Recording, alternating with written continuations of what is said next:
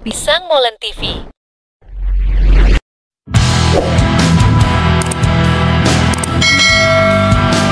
Sistem rudal permukaan ke udara, SAM S-350 Vitias Rusia berhasil menembak jatuh pesawat Ukraina di zona operasi khusus dalam mode otomatis penuh tanpa partisipasi operator.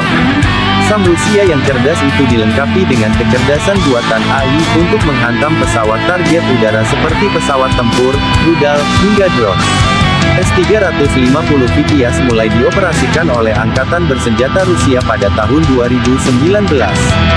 Untuk pertama kalinya di dunia, Vitias melakukan deteksi, pelacakan, dan penghancuran target udara Ukraina secara otomatis dalam pertempuran.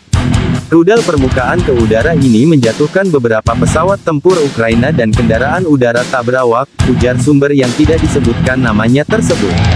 Ditambahkan bahwa mode otomatis diterapkan berdasarkan prinsip bahwa seseorang tidak membatalkan keputusan elemen kecerdasan buatan SAM dalam kerangka situasi pertempuran udara yang muncul.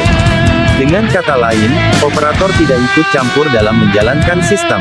Sistem tersebut mengonfirmasi algoritma operasi yang dipilih oleh mesin. Vitias secara bersamaan dapat bekerja dalam mode radar aktif dan pasif.